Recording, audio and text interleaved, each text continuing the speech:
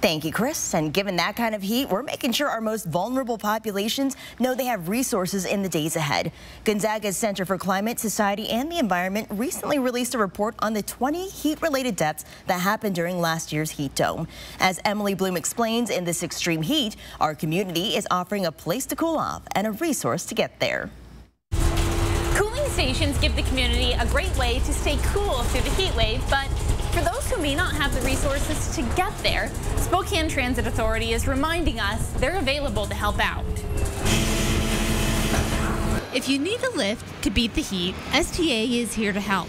They're offering rides to anyone searching for a place to cool off. On days when it's forecast to be 95 and above, we start to look at our humanitarian efforts to make sure that people are staying safe. STA is offering transit to four libraries currently operating as cooling centers.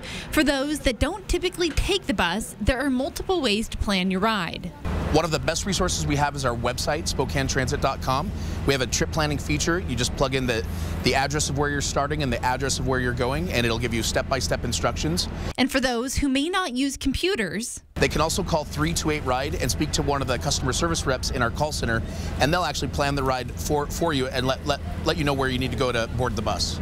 And if someone boards the bus but doesn't have the fare, STA will waive the fee. You just need to tell the operator you're headed to or from a cooling center, and the driver will make an exception. Our goal is to, to make sure that everybody is safe, and when the temperatures are above 95 degrees, we know that, that we start to see issues.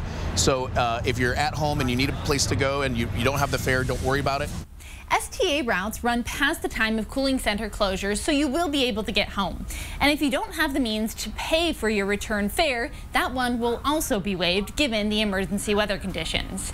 Reporting in Spokane, Emily Bloom, 4 News Now.